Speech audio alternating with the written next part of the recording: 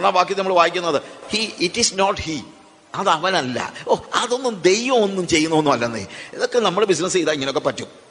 അല്ലെങ്കിൽ നമ്മൾ ഇന്ന ഇന്ന കാര്യങ്ങൾ ചെയ്താൽ ഇങ്ങനെയൊക്കെ പറ്റും. എല്ലാത്തിനെയും യാദൃച്ഛികമായിട്ട് കാണുന്ന വ്യക്തികൾ. എന്നാൽ വാസ്തവത്തിൽ എന്താ ആവശ്യം? എന്റെ ജീവിതത്തിലെ ചെറിയ കാര്യത്തിലും വലിയ കാര്യത്തിലും ഞാൻ ദൈവശബ്ദം കേൾക്കണം. നമുക്കത് കേൾക്കാൻ കഴിയുന്നുണ്ടോ? ദാറ്റ് ഈസ് ദ ക്വസ്റ്റ്യൻ നീ അവരെ ക്ഷയിപ്പിച്ചു തകർത്തു. ഒന്ന് തിരിഞ്ഞു നോക്ക്. അവിടെ പന്ത്രണ്ടാമത്തെ വാക്യത്തിൽ വീണ്ടും നമ്മൾ വായിക്കുമ്പോഴത്തേക്ക് അവിടെ കാണുന്നത് ഞാൻ പറഞ്ഞ ആ വാക്യങ്ങൾ അങ്ങോട്ടും ഇങ്ങോട്ടും. അവർ യഹോവയെ നിഷേധിച്ച് പറഞ്ഞത് അത് അവനല്ല നമുക്ക് ദോഷം വരികയില്ല. ഓ അതൊക്കെ നമുക്ക് ഹാൻഡിൽ ചെയ്യാനുള്ളതേ ഉള്ളൂ. നമുക്ക് ദോഷമൊന്നും വരത്തൊന്നുമില്ല. വി ക്യാൻ മാനേജ് അഹങ്കാരം കൊണ്ട് നിറഞ്ഞ ഒരു സമൂഹം. നമുക്ക് ദോഷം വരികയില്ല. വാളും വാളോ ക്ഷാമമോ നീ നമ്മൾ കാണുകയില്ല. അത് അവനല്ല. പ്രവാചകൻ പറഞ്ഞത് അവിടെ പറയുന്നത് പ്രവാചകൻ കാറ്റായി തീരും അവൾക്ക് അരുളപ്പാടില്ല അവർക്ക് അങ്ങനെ ഭവിക്കട്ടെ എന്ന് പറയുന്ന ഒരു അവസ്ഥ. അതായത് ദൈവവചനം കേട്ടിട്ട് ദൈവവചനം ഏറ്റെടുക്കുന്നതിന് പകരം ഓ അത് അവൻ പറയുന്നത് അതൊന്നും കാര്യമൊന്നുമില്ലെന്നേ ഇറ്റ് ഡസിൻ മാറ്റർ ദൈവവചനം എന്തു പറയുന്നു? ദൈവവചനം എന്ത് വാൺ ചെയ്യുന്നു? ദൈവവചനത്തിന്റെ വാണിംഗ് ഏറ്റെടുക്കാത്ത മുന്നറിയിപ്പുകളെ അവഗണിക്കുന്നതായ ഒരു സമൂഹം. പ്രവാചകൻ പറയുന്നത് കേൾക്കാത്ത അതിനുവേണ്ടി മനസ്സ് കൊടുക്കാത്തതായ ഒരു സമൂഹം. ഇരമ്യാവിന്റെ പ്രവചനത്തിൽ ഇരമ്യാവ് ഇടപെടുന്ന അതിന് മുമ്പിലുള്ള അധ്യായങ്ങളിലൊക്കെ ആണെങ്കിലും ഇരമ്യാവിന്റെ ജീവിതത്തിൽ അല്ലെങ്കിൽ ഇരമ്യാവ് ഇടപെടുന്നതായ പല ഭാഗങ്ങൾ നമ്മൾ വായിക്കുമ്പോൾ രണ്ടാമത്തെ അധ്യായം മുതൽ ചില ഭാഗങ്ങൾ മാത്രം ഞാൻ വായിക്കാം. അതിന്റെ മുപ്പത്തി ഒന്നാമത്തെ വാക്യത്തിൽ ഇപ്പോഴത്തെ തലമുറയായുള്ളവേ യഹോവയുടെ അരുളപ്പാട് കേൾപ്പീൻ. ഞാൻ ഇസ്രായേലിനൊരു മരുഭൂമി ആയിരുന്നുവോ അന്ധകാര പ്രദേശമായിരുന്നുവോ? ഞങ്ങൾ കെട്ടഴിഞ്ഞ് നടക്കുന്നു. ഇനി നിന്റെ അടുക്കൽ വരികയില്ല എന്ന് എന്റെ ജനം പറയുന്നത് എന്ത് ഇപ്പോഴത്തെ തലമുറയായുള്ളവേ ഓ ജനറേഷൻ. ശരിക്കും പ്രവാചകൻ ഒരു തലമുറയോട് മുഴുവൻ സംസാരിക്കുകയാണ്. ഇന്ന് ഈ വാക്കുകൾ നമ്മൾ പറയുമ്പോൾ ഇതൊരു തലമുറയോടുള്ള സന്ദേശമാണ്. ഈ പണ്ട് കാലത്ത് വ്യക്തികളോട് പറഞ്ഞ അതായത് ഞാൻ പറഞ്ഞല്ലോ എല്ലാ കാലയളവിലും തെറ്റ് ചെയ്യുന്നവരൊക്കെ ഉണ്ടായിരുന്നു. പക്ഷേ അത് ഒന്നോ രണ്ടോ വ്യക്തികളായിരുന്നു. അപ്പോൾ അവരെ വിളിച്ച് നമുക്കങ്ങ് പറഞ്ഞാൽ മതിയായിരുന്നു. പക്ഷേ ഇന്നതല്ല ഇന്ന് വ്യക്തികൾ മാത്രമല്ല ഒരു തലമുറ മുഴുവൻ തകർന്നു പോയിരിക്കുകയാണ്. അതുകൊണ്ട് പ്രവാചകൻ അതുകൊണ്ടാണ് ഞാൻ പറഞ്ഞത് ഇത് ഇരമ്യ പ്രവാചകന്റെ കാലഘട്ടം നമ്മുടെ കാലഘട്ടത്തോട് തുല്യമായിരിക്കുകയാണ്. ഒരു തലമുറ മുഴുവൻ നശിച്ചു പോയിരിക്കുന്ന ഒരു തലമുറ മുഴുവൻ കർത്താവിനെ നിഷേധിക്കുന്ന ദൈവ നിഷേധികളുടെ ഒരു കൂട്ടം. ഞാൻ നാൽപ്പത്തിമൂന്ന് വർഷമായി വിശ്വാസത്തിൽ വന്നിട്ട് അന്നും അന്ന് തെറ്റ് ചെയ്യുന്നവരുണ്ടോ എന്ന് ചോദിച്ചു കഴിഞ്ഞാൽ ചിലപ്പോൾ കാണുമായിരിക്കും എനിക്ക്. പക്ഷെ പ്രത്യക്ഷത്തിൽ ഒരാൾക്ക് തെറ്റ് ചെയ്തിട്ട് സഭയിൽ വരാൻ പോലും കഴിയില്ല. അങ്ങനെയുള്ള ഒരാളെ സഭയിൽ കൂട്ടിക്കൊണ്ട് നടക്കാനായിട്ട് അല്ലെങ്കിൽ ഇനോ അവനെ തള്ളിക്കളയുക എന്നുള്ളതല്ല. വരാൻ അവന് തന്നെ ലജ്ജയാ. പാപിയായ ഒരു വ്യക്തിക്ക് സഭയ്ക്കകത്തേക്ക് കയറാൻ തന്നെ ലജ്ജയാണ്. പക്ഷെ ഇന്നോ ഒരു തലമുറ മുഴുവൻ നശിച്ചു പോയിരിക്കുകയാണ്. ഞാൻ രാവിലെ പറഞ്ഞല്ലോ ഗലാത്തിയ ലേഖനം അഞ്ചാം അധ്യായത്തിൽ പത്തൊമ്പതാമത്തെ വാക്യം മുതൽ വായിക്കുമ്പോൾ ജഡത്തിന്റെ പ്രവൃത്തികൾ എന്ന് പറഞ്ഞ് പറയുന്ന കാര്യങ്ങൾ പറഞ്ഞിട്ട് പണ്ടൊക്കെ പറയുമായിരുന്നു. ഇതിലേതെങ്കിലും നിങ്ങളുടെ ജീവിതത്തിൽ ഉണ്ടെങ്കിൽ നിങ്ങൾ ദൈവരാജ്യം അവകാശമാക്കിയില്ല. ഏതെങ്കിലും ഒന്നുണ്ടെങ്കിൽ. പക്ഷെ ഇന്നിപ്പോൾ നമ്മൾ നോക്കുന്നത് ഇതിലേതാ ഇല്ലാത്തതെന്നാണ് ഇത് മുഴുവനും കൂടെ സകല ഭാവങ്ങളുടെ തലേ വലിച്ചു കെട്ടി വെച്ചിരിക്കുന്ന ഒരു സമൂഹമായിട്ട് നമ്മുടെ സമൂഹം തകർന്നു പോയിരിക്കുകയാണെന്നുള്ള ഒരു യാഥാർത്ഥ്യമല്ലേ? ജലമേ ഒരു തലമുറയോട് മുഴുവനായിട്ട് പറയുകയാണ് ഇപ്പോഴത്തെ തലമുറയായുള്ളവേ യഹോവയുടെ എള്ളപ്പാട് കേൾപ്പീൻ. നിങ്ങൾ എന്തുകൊണ്ട് അവർ പറഞ്ഞെന്താണ് ഞങ്ങൾ കെട്ടഴിഞ്ഞ് നടക്കുന്നു ഇനി നിന്റെ അടുക്കൽ വരികയില്ല എന്ന് എന്റെ ജനം പറയുന്നത് എന്ത്? കർത്താവ് ചോദിക്കുക കഴിഞ്ഞ കാലങ്ങളിൽ ഞാൻ ഫെയ്ത്ത്ഫുൾ അല്ലായിരുന്നോ? നിങ്ങൾ എന്താ എന്നെ ഇട്ടേച്ചു പോകാൻ കാര്യം? ഞാൻ ഇസ്രായേലിനൊരു മരുഭൂമി ആയിരുന്നുവോ? അന്ധകാര പ്രദേശമായിരുന്നുവോ അങ്ങനെ അല്ലായിരുന്നല്ലോ. നമ്മുടെ പിതാക്കന്മാരുടെ ചരിത്രത്തിൽ ദൈവത്തിന്റെ വിശ്വസ്തത കണ്ടിട്ടുള്ളവരല്ലേ നമ്മൾ? എന്നിട്ടും എന്തുകൊണ്ട് നമ്മൾ കെട്ടഴിഞ്ഞ് നടക്കുന്നു? ഞങ്ങൾ നിന്റെ അടുക്കൽ വരികയില്ല എന്ന് പറയുന്നു. മുപ്പത്തിനാലാമത്തെ വാക്യത്തിൽ പാപത്തിൽ ജീവിക്കുന്ന തലമുറയോട് പറയാണ്. തലമുറയോട് ഒരു വ്യക്തിയോടല്ല തലമുറയോട് പറയാണ്. നിന്റെ ഉടുപ്പിന്റെ വിളുമ്പിലും കുറ്റമില്ലാത്ത സാധുക്കളുടെ രക്തം കാണുന്നു.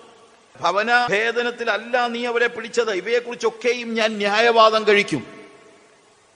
കുറ്റമില്ലാത്ത സാധുക്കളുടെ രക്തം വസ്ത്രത്തിന്റെ വെളുമ്പിൽ കാണുന്നു. വസ്ത്രത്തിന്റെ വെളുമ്പിൽ കാണുക എന്ന് പറഞ്ഞു കഴിഞ്ഞാൽ നടക്കുന്നത് തന്നെ ഇതിനകത്താണ് അതിന്റെ അർത്ഥം. അതാണല്ലോ വസ്ത്രത്തിന്റെ വെളുമ്പിൽ കാണുക. എവിടെങ്കിലും ചോരയൊന്ന് തെറിച്ചതല്ല എന്താണ്? വെളുമ്പിൽ കാണുന്ന പറഞ്ഞാൽ ഇതിനകത്തൂടാണ് നടപ്പ്. എല്ലാ അനീതിയും എല്ലാ അക്രമവും കാണിച്ചിട്ട് പിന്നെ സഭയിൽ വരും. ഈ തലമുറയോട് പ്രവാചകൻ പറയുകയാണ് ഞാൻ നിന്റെ ഉടുപ്പിന്റെ വെളുമ്പിൽ കുറ്റമില്ലാത്ത സാധുക്കളുടെ രക്തം കാണുന്നു. പക്ഷെ ഇവനിത് സമ്മതിക്കുമോ? ദൈവികതയിൽ നിന്ന് ഇത്രയും അകന്നു പോയിട്ടും സാധുക്കളുടെ രക്തത്തിന്റെ മണ്ടയ്ക്കൂടെ നടന്നിട്ടും മുപ്പത്തഞ്ചാം വാക്യത്തിൽ നീയോ ഞാൻ കുറ്റമില്ലാത്തവൾ എന്റെ അവന്റെ കോപം എന്നെ വിട്ടുമാറിയിരിക്കുന്നു സത്യം എന്ന് പറയുന്നു.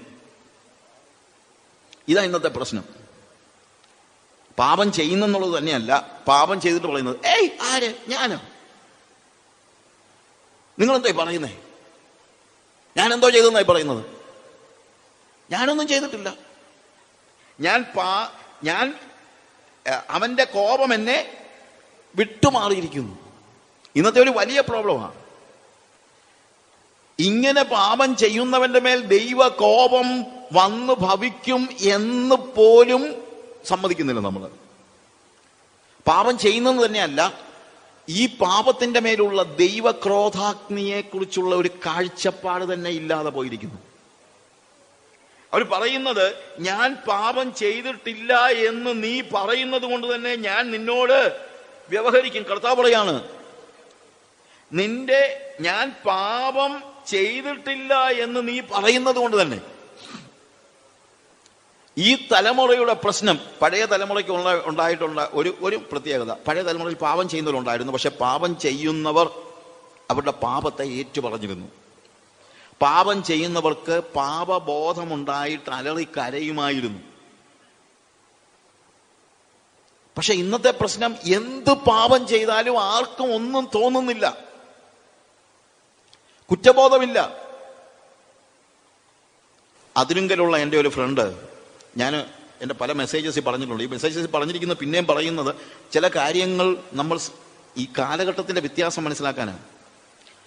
പുല്ലാട് എന്ന് പറയുന്ന സ്ഥലത്ത് നിന്ന് അതിരുങ്കലിൽ കുടിയേറിപ്പോയ ഒരു മത്തായിച്ചൻ എന്ന് പറയുന്ന ഒരു മനുഷ്യൻ അവിടെ വെച്ച് കർത്താവിനെ രക്ഷിതാവായി സ്വീകരിച്ചു. ഒത്തിരി കൃഷിയൊക്കെ ഉള്ള ഒരാളാണ് അപ്പോൾ കൃഷിക്കാരുടെ കൃഷിയിൽ അവർ ആ, കാവൽ കിടക്കാൻ പോകുന്ന ഒരു പഴയ മാടം പണ്ടറിയാമല്ലോ കാവലിന് വേണ്ടിയുള്ള മാടമുണ്ട്.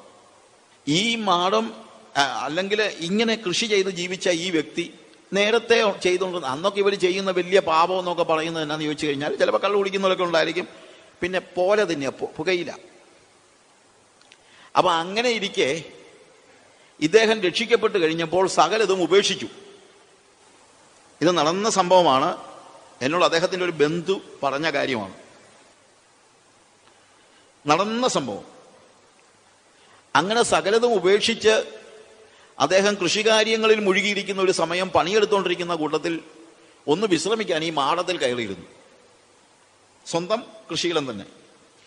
ഈ മാളത്തിൽ കയറിയിരുന്നപ്പോൾ പണ്ട് ഉപയോഗിച്ചിരുന്നതായ ഈ പുകയില ഇട്ട് വെക്കുന്ന ചെല്ലം എന്ന് പറയുന്ന ഒരു ചെറിയൊരു പാത്രമുണ്ട്. ഈ പാത്രം അദ്ദേഹം കണ്ടു. ആ അതുകൂടി ഇരിപ്പുണ്ടല്ലോ. കാര്യം ഇത് ഉപേക്ഷിച്ചതിന് ശേഷം ഇതിലേക്ക് നോക്കിയിട്ടില്ല.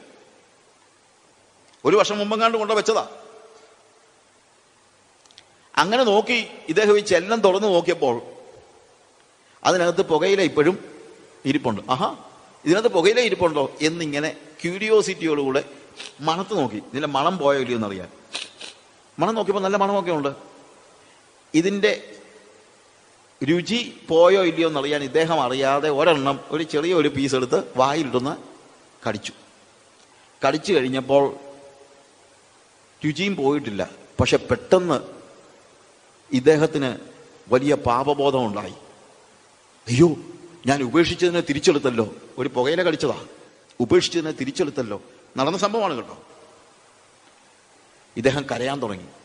വെറ്റിലച്ചെല്ലാം എടുത്ത് എറിഞ്ഞിട്ട് കൃഷി പണി നിർത്തിയിട്ട് ഇദ്ദേഹം നേരെ വീട്ടിൽ ചെന്നു. വീട്ടിൽ ചെന്ന് വിതുമ്പി കരയുക ഭയങ്കര കരച്ചിൽ. ഭാര്യ ചോദിച്ചു എന്ത് പറ്റി? മക്കൾ ചോദിച്ചു അപ്പ എന്നെ പറ്റി? ഒന്നും മിണ്ടത്തില്ല കരച്ചില. ആ സമയത്ത് ഇവർ ചെന്ന് പാസ്റ്ററോട് പറഞ്ഞു പാസ്റ്ററെ അച്ചാച്ചൻ ഭയങ്കര കരച്ചിലാ. പിന്നെ പാസ്റ്റർ ഓടി വന്നു അച്ഛാ മത്താച്ച എന്തു പറ്റി? ഉടനെ ഇദ്ദേഹം പറഞ്ഞു പാസ്റ്ററെ ഞാൻ പുകയില നിന്ന് പോയി. ഒറ്റ കരച്ചില പൊട്ടിക്കരഞ്ഞു. ഭയങ്കര കരച്ചിൽ ഈ സംഭവം വിവരിച്ചു കഴിഞ്ഞപ്പോൾ പാസ്റ്റർ പറഞ്ഞു മതാച്ച അത് നമ്മൾ അറിഞ്ഞുകൊണ്ട് ചെയ്തതല്ലല്ലോ അറിയാതെ ചെയ്തതല്ലേ? അറിയാതെ ചെയ്തതാണോ പാസ്റ്ററെ ഞാൻ എന്നാ കൊച്ചു കുഞ്ഞാണോ എനിക്കറിയത്തില്ല ഇത് പുകയിലയാണെന്ന്. ഇദ്ദേഹം കരയാൻ തുടങ്ങി. വൈകുന്നേരം കഞ്ഞി കൊടുത്തിട്ട് കഞ്ഞി കുടിച്ചില്ല. പിറ്റേ ദിവസം രാവിലെ ബ്രേക്ക്ഫാസ്റ്റ് കൊടുത്ത് ബ്രേക്ക്ഫാസ്റ്റ് കൊടുത്ത് കുടിക്കുന്നില്ല. ഇദ്ദേഹം വിതുമ്പി കരയുക. ഒടുവിൽ ഇവർ പുല്ലാട്ട് ആളെ വിട്ട് അവിടെ നിന്ന് പഴയ ബ്രദറൻ സഭയിലെ ഒരു ഉപദേശി ഇദ്ദേഹത്തിന്റെ ബന്ധുവാ. അദ്ദേഹത്തെ അതിരിങ്കൽ വരുത്തി. അദ്ദേഹം വന്നിട്ട് പറഞ്ഞു മത്തായിച്ച നീ കാണിച്ച തെറ്റാ.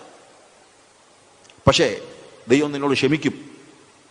ഇനി ഇത് കാണിക്കാതിരുന്നാൽ മതി. നിന്നോട് നീ പാപം ഏറ്റുപറയുന്നുവെങ്കിൽ ദൈവം ക്ഷമിക്കും എന്ന് പറഞ്ഞ് അദ്ദേഹം കൗൺസിൽ ചെയ്ത് അവർ ഒരുമിച്ചിരുന്ന് പ്രാർത്ഥിച്ചതിന് ശേഷമാണ് ഈ മനുഷ്യൻ കഞ്ഞി കുടിച്ചത്. എന്താ ചെയ്തത്? ഒരു പുകയിലുള്ള ഞെട്ടൊന്ന് ടേസ്റ്റ് ചെയ്തു പോയി. ഇതായിരുന്നു പഴയ തലമുറ. ഇതാണ് ഇന്ന് ആവശ്യമായിരിക്കുന്നത്. അതിന് പകരം നമ്മൾ എന്താ പറയുക? ഞാൻ എന്തോ ചെയ്തത്? എന്ത് തോന്നിവാസം കാണിച്ചിട്ടും ചോദിക്കുന്നത് ഞാൻ എന്തോ ചെയ്തെന്നാണ് നിങ്ങൾ പറയുന്നത്? അവനോ അവനോട് അവൻ അവന്റെ കോപം എന്നോടുള്ളതെല്ലാം തീർന്നു പോയി ഞാൻ സ്വർഗത്തിൽ തന്നെ പോകും ബ്രദറെ അല്ലാതെ ഞാനിവിടെ പോകാനാ. സ്വർഗത്തിൽ പോകുമെന്ന് ചിന്തിച്ചിരിക്കുകയാണ്. വിഡിത്തമാ നിങ്ങൾ പറയുന്നത്.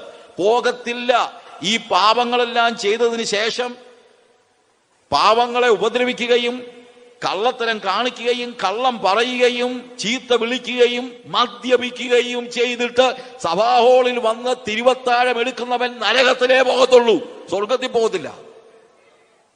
അത് തന്റെ അടുത്തോടെ പറയാൻ ആൾ വേണം. ഞാൻ രാവിലെ പറഞ്ഞല്ലോ റാന്നിയിൽ വെള്ളിയാറ സഭയിൽ ആയിരത്തി തൊള്ളായിരത്തി മുപ്പത്തി ഏഴിലാണെന്ന് തോന്നുന്നു. ഞാൻ ആ ഭാഗം വായിച്ചതാ. രണ്ടുപേര് നമ്മൾ സംസാരിച്ചപ്പോൾ ഒച്ച ഉണ്ടാക്കി ഉയര ഉയർ ഉയർന്ന ശബ്ദത്തിൽ സംസാരിച്ചു അങ്ങോട്ടും ഇങ്ങോട്ടും പറഞ്ഞപ്പോൾ ചില വാക്കിൽ തെറ്റി. പക്ഷെ അവിടെ പറഞ്ഞെന്താണ്? ഇവർ രണ്ടും വാക്കിൽ തെറ്റിയതിനാൽ അവരെ തിരുവത്താഴത്തിൽ നിന്നും എല്ലാവിധ ശുശ്രൂഷകളിൽ നിന്നും മാറ്റി നിർത്തിയിരിക്കുന്നു. ഞാൻ വായിച്ചതാണ് റിപ്പോർട്ട്. ബന്ധിക്കോസി അടുത്ത് എഴുതിയപ്പം പോയി നടന്ന് കൂട്ടത്തിൽ എനിക്ക് കിട്ടിയത് ഞാൻ വായിച്ചതാണ്. വാക്കിൽ തെറ്റിയതിന്റെ പേരിൽ സഭയിൽ നിന്ന് വിടർത്തി നിർത്തിയിരുന്ന ഒരു പാരമ്പര്യമാണ് നമുക്കുള്ളതെന്ന് നമ്മൾ മറന്നു പോകരുത്. ഇന്ന് എന്ത് കാണിച്ചാലാ നമുക്ക് ചെയ്യാൻ പറ്റുന്നത്? ആരാ ചെയ്യുന്നത്? അതുകൊണ്ട്. ഈ ഡിസിപ്ലിൻ നടത്താൻ ആരാ ഉള്ളത്? അങ്ങനെ ഒരു സാഹചര്യത്തിൽ ഞാനോ നീ നീയോ ഞാൻ കുറ്റമില്ലാത്തവൾ അവന്റെ കോപം എന്നെ വിട്ടുമാറിയിരിക്കുന്നു സത്യം എന്ന് പറയുന്നു. ഞാൻ പാപം ചെയ്തിട്ടില്ല എന്ന് നീ പറയുന്നത് കൊണ്ട് ഞാൻ നിന്നോട് വ്യവഹരിക്കും. കർത്താവ് കൃത്യമായിട്ട് പറയാണ്. വെറുതെ വിടുമെന്ന് ചിന്തിക്കണ്ട. ഇതിനെല്ലാം ഒരു അവസാനമുണ്ട്. ഒടുക്കം നീ എന്ത് ചെയ്യും? There is an end what you are going to do then അപ്പോൾ നീ എന്താ ചെയ്യാൻ പോകുന്നത്? എന്നും ഇങ്ങനെ പോകുമെന്ന് ചിന്തിക്കരുത്. ഇരമ്യാവ് പറയുന്ന ഈ കാര്യങ്ങൾ ജനം എന്താ പറയുന്നത്? മൂന്നാം അധ്യായത്തിന്റെ ഇരമ്യാവിന്റെ പ്രവചനം മൂന്നാം അധ്യായത്തിന്റെ അഞ്ചാമത്തെ വാക്യത്തിൽ ജനം പറയുക. കർത്താവ് പറയുന്നത് പോട്ടെ. ചില കാര്യങ്ങൾ ദൈവം പറയുന്ന കാര്യങ്ങൾ ദൈവം തന്നെ പറയണം. നമ്മൾ പറയരുത്. ഞാൻ എപ്പോഴും പറയും മിഷനറിമാരുടെ ത്യാഗത്തെക്കുറിച്ചൊക്കെ വല്ലോരും പറഞ്ഞാൽ പിന്നെയും കുഴപ്പമില്ല. പക്ഷെ മിഷനറിമാർ വന്ന് വലിയ വർത്തമാനം പറയരുതെന്ന്.